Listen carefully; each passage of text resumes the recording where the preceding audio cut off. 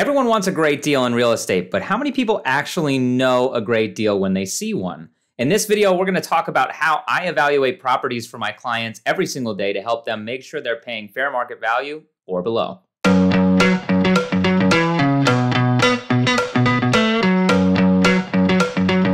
If you're a buyer active in the market today, if you're a seller thinking about listing your home, even if you're a tenant who's considering maybe purchasing down the line, evaluating property values is critical to making successful decisions. In any transaction, it's important to come back to fair market value. And that's really what we're looking for when we run data on any property in the marketplace. Is it priced at or below fair market value? The exception would be if a multiple offer situation happens. If enough people are willing to bid a property over fair market value, okay, you can probably justify the, the value based on the demand for that specific asset. That's what appraisals are. When you hear about an appraisal with your purchase, if you already bought, you had to go through that likely if you used a loan, or maybe you've reappraised uh, in order to get a, a better loan. You are talking about a bank's assessment or a third party's assessment of your property value. Appraisals cost money though. So most people, like for example, when you're making a purchase before you make an offer, or if you just own a house and you're thinking about listing, most people don't pay to have an appraisal, which is several hundred dollars, before they do that stuff. It's really just a step that's not needed, although you certainly can do it. They instead rely on market data. And usually they rely on a real estate agent to help them get the latest and greatest market data available. So today we're going to walk through my thought process and my methodology of breaking down market data. How do I approach each property to assess its market value and to share that with my clients when they're making decisions? This happens in two capacities. For my buy side clients, I'm working with a buyer to help make sure they're not overspending on an asset. Whether they're investing or they're just buying to live in it themselves, you don't want to overspend on the front end because ultimately the biggest limitation on your future profits with your purchase is your purchase price. It doesn't matter how much you improve the property, doesn't matter how much rent goes up if you're going to do that one day. If you overpay on the front end, you will forever be chasing those profits back. So it's critical to evaluate assets on the front end and make sure that you're paying at or below fair market value using the available data. If you're a tenant watching this video and you're just considering that whole rent versus buy decision, I have another video talking about rent prices in Chicago and where they've headed, kind of where they're going from here. I would strongly advise connect with a lender, see how much you can afford in this marketplace, and at least consider buying because the rental market might not be as favorable as you'd hope in the near future. If you're a seller and you're thinking about going on market, this is equally important to you because, frankly, buyers aren't going to pay over market value for an asset. In one capacity, they can't. They're going to have to get an appraisal, and an appraiser is going to look at your home and say, it's not worth that value. And unless we're in a super competitive market, like maybe we had in 2021, 2022 in the beginning of the year, there's probably not enough stomach from the buyers to cover any sort of appraisal gap that would come in that situation, meaning you're going to have to reduce your price to the appraised value anyway. So in the beginning, it's important to run data that you feel confident in so that when a buyer asks you, why are you listed this price? Why should I pay you this many hundreds of thousands of dollars for your home? You should be able to justify that to them and to justify it using data from recent sales in the local marketplace. So, how do I think about comparable sales? Really, in a city like Chicago, you have to get hyper local, and hyper local changes based on the product category. If we're in a large high rise building, your comparable sales are your neighbors. The other sales in that building recently that have transacted are far and away your toughest competitors. That's what everybody who's looking in the building is going to see. Sure, you want to look outside that building in secondary similar buildings, see if you find other uh, similar size buildings with similar amenities, similar square footage units, similar updates, and generally make sure that the pricing is fair across the board. But ultimately, these buildings are small economies. So one building might universally sell for more expensive prices than the building right next door.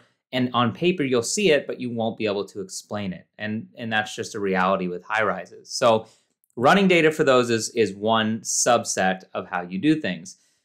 Another example would be if you're looking at, you know, single family homes, for example. If you're looking at single family, the buyer probably has kids and therefore is evaluating school districts. So all of a sudden, when you're comparing values, school district starts to play into property values. And one property being across the street from another and being in a different school zone could have tens of thousands of dollars of impact on that property's value. So when you're running comps, you need to be looking at like assets. In a large building, like assets is other units in that building. If it's something like single family, it's other single families in that neighborhood, in that school district, in that community. If it's condos, same thing. It might be a three flat. You want to look at other three flat sales. Not only that, but you're trying to look for other three flat sales the same floor. If this is a third floor unit, look for other third floor sales. If this is a ground floor unit, look for other ground floor units. So you want to get as close to a like comparison unit as possible. And you're going to do this over what I would recommend is a 3 to 6 months time frame. So when you're working with your agent, when you're working with an appraiser, generally speaking they're looking 6 months back, but I like to be a little bit more strict than that. I'm usually focused 3 months back. The reason for that is pretty straightforward. Markets shift fast. So last year, beginning of the year, the market that we had in January, February, March, pretty active. Interest rates were still low. Buyers were in multiple offer situations. That completely flipped on its head in May, June, July, and the market completely slowed down to the point where we saw activity almost entirely dry up. So, if you're evaluating on a longer time frame, there's more volatility that's bound to happen over that 6-month time frame. If you look only 3 months back, you get a very focused hyper set of data. If looking 3 months back there's not enough comparable data, certainly you want to expand that time frame. Speaking of enough data, I tend to aim for 10 properties of reference. Those properties need to be a mix of active properties on market because that's your competition who hasn't won yet, but you're actively competing against for these buyers' eyes. The, num- the second set would be properties under contract. That's people who have won enough that they got a buyer to buy that property or at least put it in writing that they will buy the property. And then there's close. Those are the winners, right? They were able to sell the property. That data is almost most valuable because it tells you what had to be done at what price point to sell a similar asset. You put those all together and you run comparable data.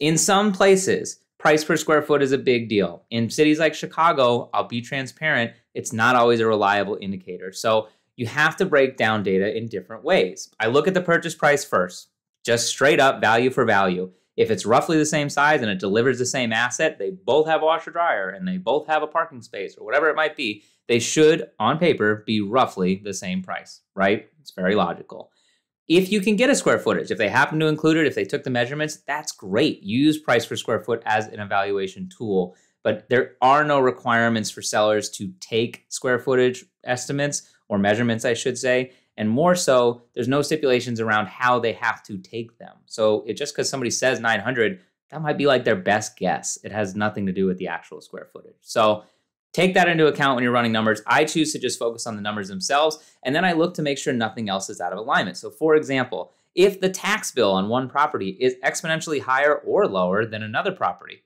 why? Did they get an exemption? Is that going to be a problem for you? Can you expect the same? Are you going to have a rough adjustment up in some near future? So, you want to be looking for obvious metrics that are standing in your face. When you're evaluating condos, you also need to ask more questions about budgets, repairs, reserves, things like that. You certainly want to ask questions like that when you're buying a single family home, right? If you're buying an asset and recently another home sold and you see that in the listing it says that home has a new roof, that's valuable and it should play into how you compare with that property. If your roof isn't new, how much would it cost to get there? Right? You need to be thinking of that in terms of comparative value. With condos, the story is a little more complicated. Most condo buildings, all condo buildings, have a reserve fund that reserve fund is there to take care of major projects. So your questions are still the same. When did you replace the roof? When did you do the tuck pointing? How old are the major critical appliances? But the reasoning behind them is slightly different because it's a shared asset. You want to be making sure is the board budgeting for necessary repairs and upkeep? Do you have healthy reserves in case there's a rainy day repair that needs to be made? And questions like, you know, are there common special assessments in the building that I should be aware of and preparing for? So you put this all together, and this is going to give you a comprehensive value that you should expect to pay for that property if it transacts at fair market value. So when I'm sharing with clients, if you come to me and say, Matt, I love this property, I want to make an offer, the way I'm going to advise you is twofold. Number one is the you should talk to your lender and have a conversation to make sure you can affordably, comfortably live in this property. That will also guide how much you want to spend on the property. Part of running comparative analysis on the buy side is how much do you want to spend? Only you can decide that number. Once you figure that out, we'll compare that with the number I give you, which is the fair market value of this property using recent data in the marketplace. Hopefully, those numbers are close. Maybe you'd be willing to spend even higher than fair market value, which is great. You found a deal that's comfortably in your budget. What we don't want is something where fair market value of the home far exceeds what you can comfortably spend. Because in that situation, barring some extreme negotiation, it's probably a home that's not a good fit for you. The fair market value is quite a bit more than you can comfortably afford. So that's why we do this. We run numbers to compare the world of what you want and what you can afford with your lender with the fairness of the marketplace in action. And in real estate, the only way we can really evaluate market fairness, fair market value, however you want to think about it, is by using recent like for like transactions in the local marketplace to assess what a home should transact in the future, right? So it's not a perfect science, it's a trailing science. And oftentimes you see low appraisals coming out of transitory markets. If winter was tough on sales, it could be a little bit of a learning curve before high appraisals come back in the spring. So there are transitions in markets, and we can only use data that's already available, meaning closed sales, contracts, uh, or, or homes under contract or new listings. If you're thinking about evaluating a property, making an offer, or going on market, I strongly advise connecting with a real estate professional.